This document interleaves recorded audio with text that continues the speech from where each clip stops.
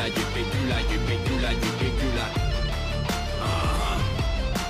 Jyppi, kyllä jyppi, kyllä jyppi, kyllä jyppi, kyllä. Koko urheilun ydin on siinä, että tavallaan miten sä, kun, kun tasalta miten reagoidaan erilaisiin tilanteisiin, kun tulee epäonnistumisia ja onnistumisia, että miten sä pystyt niitä niin kuin, sen prosessi ottaa mukaan, että ei, ei heilahtele epäonnistumista liian alas eikä taas onnistumista liian ylös. Niin, kyllähän voitot ruokkii semmoista, että jos sitähän toivoisi, että voittaisi, niin voisi harjoitella enemmän ja kovempaa ja, ja valmentaa pelaajia. Monihan haluaa asioita nopeuttaa, jos se nopeutuu, niin ihan kukaan sitä pahollaan ole, mutta, mutta, mutta ilmasta se ei tule olemaan. Että kyllä jokainen niin kuin menestystarina on kuitenkin kasvutarinansa suomalaisessa urheilussa ja yleensä kansainvälisessä urheilussa, että aina se tarvii sen kasvutarinan. Tällä kaksikolla on menossa missio. Nostaa Jyp seuraavan kolmen vuoden aikana takaisin pudotuspelijoukkueeksi, joka taistelee uskottavasti paikasta mitalipeleissä. Keski-Suomessa viime vuodet ovat sujuneet mollivoittoisesti.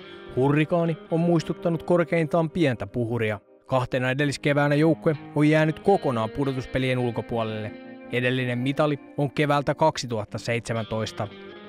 Hyvä virinähän täällä on kyllä koko ajan päällä, mutta samaan aikaan tietysti odotusarvokin on vähän hakee paikkaansa ja, ja se luo tietysti jännitteitä niin kuin pitää ja kauden aloitus totta kai jännittää.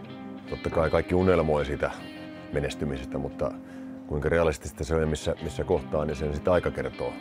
Sä et voi hypätä sinne loppusuoralle, kun vasta siellä takasuoralla, että se on tällä hetkellä iso, iso asia niin tiedostaa, mutta tota, mutta se on hyvä, että on pohjaa tavallaan, on halua, tosi kova halu on kyllä koko organisaatiolla ja, ja, ja uskon, että kaikilla täällä Jyväskylässä tällä hetkellä niin tehdä sitä isoa muutosta.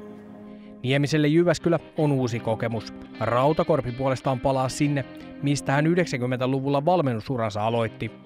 Ainakin vaatimustason kaksikko Keski-Suomeen jälleen tuo. Sormien läpi ei lepsuilua katsella.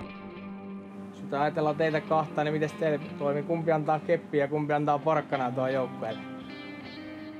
No varmaan sekä että, eikä se, ei me sitä ole tässä sovittu, että jokainen elää, elää tavallaan ihmisenä sillä tavalla, kun tätä elää, että ei tässä ketään niin kuin, tota, niin, niin kuin laiteta sillä tavalla ruotuun, mutta totta kai kun ihmisiä, ihmiset tekee yhteistyötä, jos meidän valmennustiimi tekee yhteistyötä, niin joka päivähän tässä opitaan nimenomaan myös toisistamme. Sieltähän se vahvuus syntyy sitten, mutta ei tässä etukäteen ole ketään laitettu, että tässä joku antaisi keppiä joku porkkanaa, vaan autetaan pelaajia molemmilla keinoilla. Niin ihan samalla lailla kaukalossa peli pyytää myös pelaajilta oikeita ratkaisua ja sen hetkistä reagointia tilanteisiin, joskus ennakointia ja ihan sama tässä valmennustiimissä on arjessa.